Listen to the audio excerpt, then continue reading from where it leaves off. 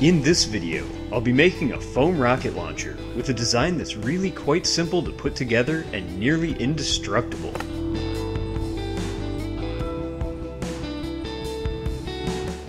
When I was young, I used to have a toy rocket launcher quite similar to this, but it never launched very far and only came with one rocket. For this project, the rockets I'll be making later in the video are quick and easy to put together and you can have dozens of them made in an hour. Additionally, they can launch upwards of 100 feet, and because of the spiral fin design that I use, they're extremely accurate. I start this project with an array of PVC pipe and fittings. The full parts list can be found in the video description below. The launcher consists of an exterior housing to which the barrel is attached, and a plunger and piston which fits inside to push the air that fires the rocket. The exterior housing is the first part to be made, starting with a 16 inch length of 2 inch diameter PVC pipe. One end of this pipe needs to be reduced to a 3 quarter inch barrel, so I'll start by gluing on a coupling, first by painting a layer of primer onto both the pipe and fitting, followed quickly by cement, then pressing the two together before it dries.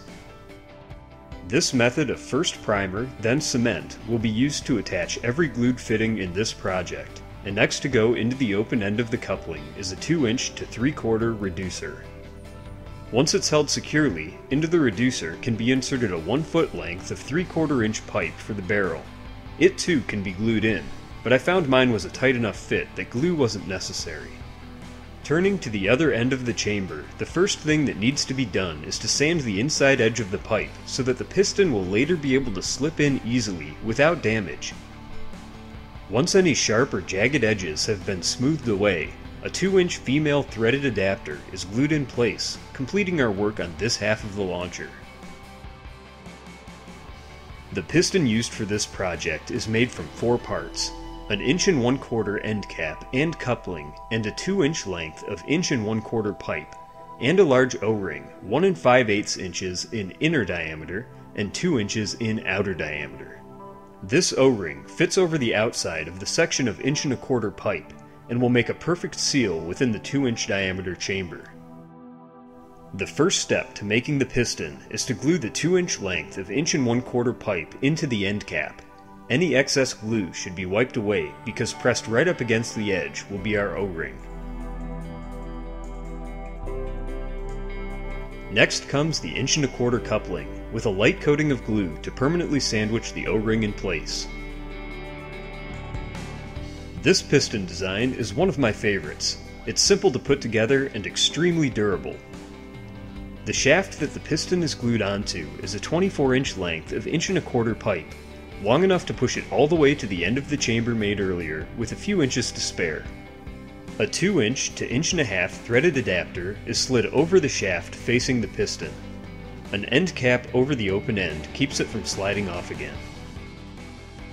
The end cap does not necessarily need to be glued on because some self-tapping screws will be going through it to attach a small metal L bracket the purpose of this bracket is so that the user's foot can be rested on it to extend the shaft using only one hand, leaving the other free to reload more rockets. The launcher is nearly complete, but there's one last step to be done before putting it all together.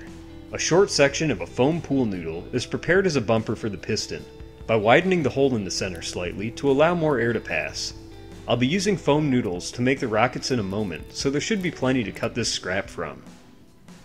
The section of foam is inserted into the chamber and pressed all the way to the end with a spare piece of pipe. This will be a perfect cushion to prevent the piston from slamming into the end of the barrel, which might cause damage. With all parts completed, the chamber and piston can both be lubricated with a spray of cooking oil, being careful to wet the entire O-ring. As the piston is pressed into the chamber, you'll be happy for the effort put in earlier to sand the inside opening smooth. Once the piston has made it inside, the threaded adapter can be screwed onto the chamber to lock the shaft in place. With the launcher now completed, let's make some rockets. I'll be making these rockets out of foam pool noodles like I mentioned before, and some sheets of craft foam and a hot glue gun to make quick work of holding everything together. The noodles are measured and cut into 14 inch lengths, which should divide them evenly to make 4 rockets each if the noodles are of the standard size.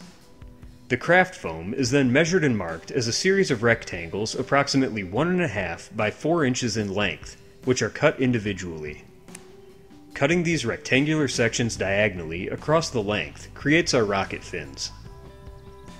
Each of the sections cut for the rocket bodies earlier can be marked on one end for how three fins should be spaced. This will be the easiest way to estimate where they should be attached. Starting from one of the marks, a bead of hot glue is laid down on a slight angle and a fin is pressed in as it cools. This is repeated for the other two marks as well. Gluing the fins on an angle causes the rocket to be spin stabilized in the air, making it much more accurate than it would be with straight fins. Now to close the nose end of the rocket, a strip of foam is rolled tightly into a cylinder and pressed in as a plug, which is then hot glued in place. It doesn't take long to make a lot of rockets this way, and you can soon be well equipped to rule the neighborhood. Audible.com has once again helped to support my projects by sponsoring this video. If you haven't already received a free audiobook through Audible, you should check them out through the link I've placed in the video description below. If you'd like my recommendation for which book to get as your free download, I'd take a look at The Count of Monte Cristo. It's a classic, and Audible has several versions by different narrators, so you're sure to find one you like. Remember that the free download is yours to keep even if you don't keep using Audible, but I wouldn't be surprised if you come back for more. If you enjoyed this video, don't forget to like, comment, and subscribe. Thanks for watching.